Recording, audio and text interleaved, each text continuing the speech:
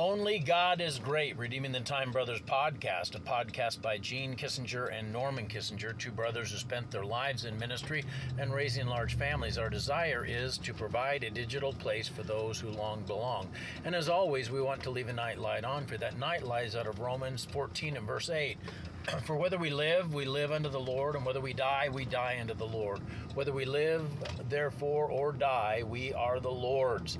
Came across the illustration uh, last week while I was studying for a sermon on Revelation 11 through 14, and it's about a, a king of uh, France. His in the grand halls of history, few moments are as poignant as the funeral of King Louis XVI of uh, France, known as Louis the Great, or the Sun King. Uh, he reigned for 72 years, the longest of any monarch of a major country. In European history, his reign was marked by the expansion of the French influence and establishment of a centralized state. He passed away in 1715. His funeral was a grand affair befitting a king who had lived in such splendor. His body was laid in a golden coffin surrounded by opulence that, that had characterized his reign. The cathedral was filled with mourners, and the atmosphere was heavy with the weight of his legacy.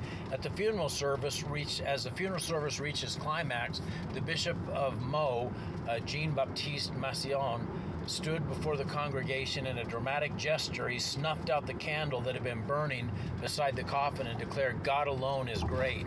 This powerful statement served as a humbling reminder that no matter how grand or influential a person may be, only God holds true greatness.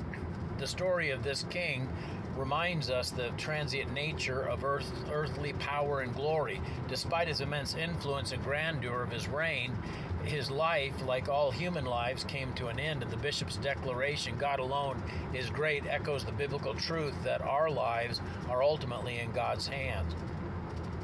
As we reflect on this story, let us remember that our true worth and greatness comes not from our achievements or status, but from our relationship with God. Whether we live or die, we belong to the Lord, and it's His greatness that we should seek to honor uh, in our lives.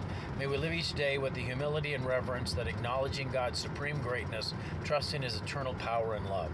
Mighty Father God, I thank you for this day. I pray that you'd be with these under the sound of my voice. Allow them to have a night of rest and peace, to help us to remember that we are but creatures in your creation.